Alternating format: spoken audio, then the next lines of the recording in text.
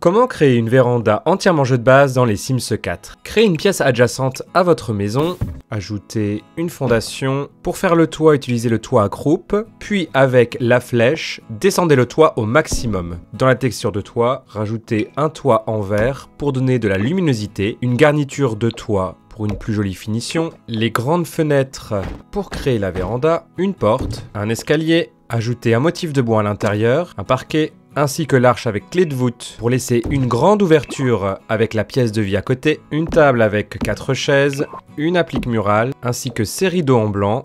permettront de donner du cachet à la pièce, quelques fleurs ainsi qu'un chemin, et vous avez une véranda entièrement jeu de base et personnalisée dans les Sims 4.